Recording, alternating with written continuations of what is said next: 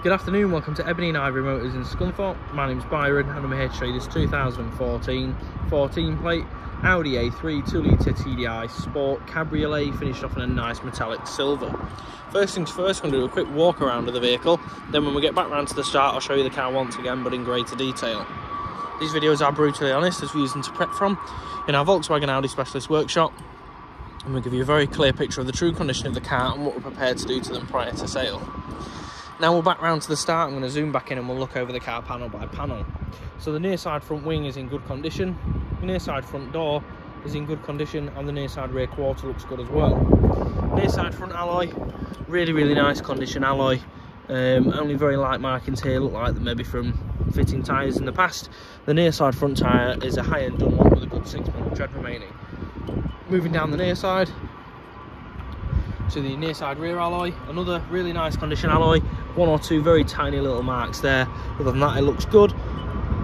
And we've got a high-end Pirelli with approximately four or five mil of tread remaining.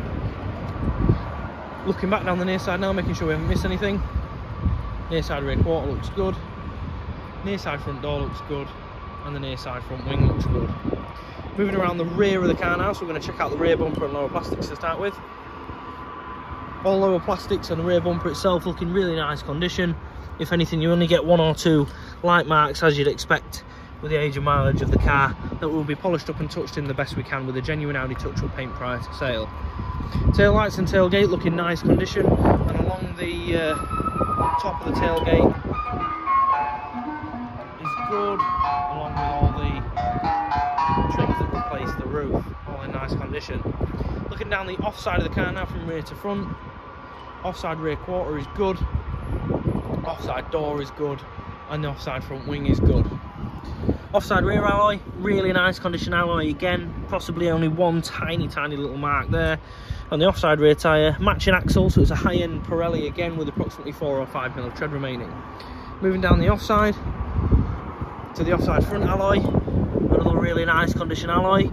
And again a matching axle so we've got high-end Dunlop with a good six mil of tread Looking back down the offside now from front to rear. Offside front wing is in good condition. Offside door looks good. And the offside rear quarter looks good. Moving around the front of the car now, so we're going to check out the front bumper itself and all the lights and grills. As you can see, all lights and grills are in good condition. And so is the front bumper for its age and mileage. Always expect a couple little marks again on a car of this age but it is in good condition and if we do see any little marks we'll polish them up and touch them in the best we can. Final panel to look over is the bonnet. As you can see the paintwork on the bonnet's in good condition no major chips or dents or anything like that. We do just get the one or two touch-ups to be done along the front. Again as you'd expect with a car of this age. Other than that looks in really nice condition. Before we make our way through the interior we'll check out the front screen. No major chips or cracks very light surface peppering just on the driver's side here and it does look like we've got one or one or two chips just down the bottom here but they have been previously repaired. So in good condition. Now we're going to check out the interior starting in the boot.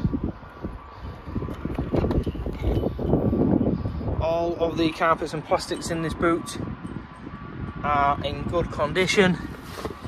As you can see only very light wear on that panelling there that looks in good condition and all the panelling underneath the boot lid's in good condition as well. Easy peasy you can just chuck the phone over the back here to look at the rear bench.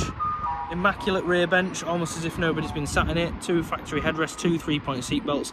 We've got isofix fittings to both seats as well and as you can see we've got a couple of usable cup holders in the center too.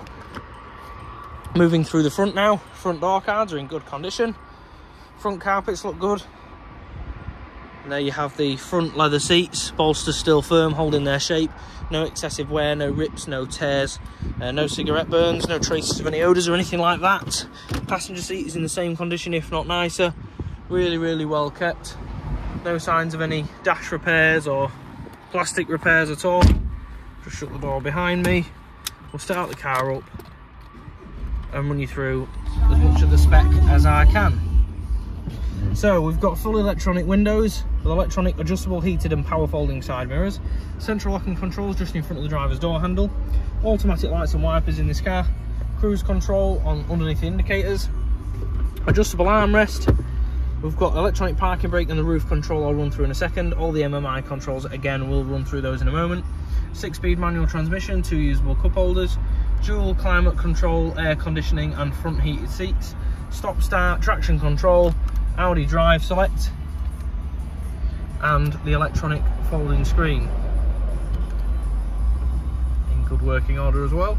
Moving through the MMI, we've got DAB radio and a few other options. In media, we've got Bluetooth audio streaming and a couple of other options, including your CD player and USB card player. Do have telephone prep as well. Do not have satellite navigation on this car. So we're finished off with this leather-bound multi-function steering wheel and this car's on 92,295 miles. Before I let you go, we're just going to do the full roof operation and show you how quick and smooth these Audi cab roofs are. And I'll jump out and walk you around the condition of the soft top before ending the video.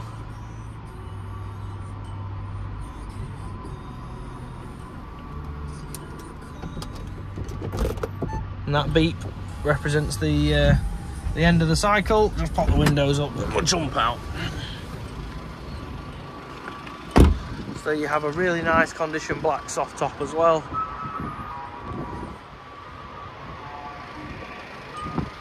And there you have it. Thank you very much for watching this video. If you've got any questions regarding this car or any of our stock, please give us a call on 01724 876 555. Thank you again.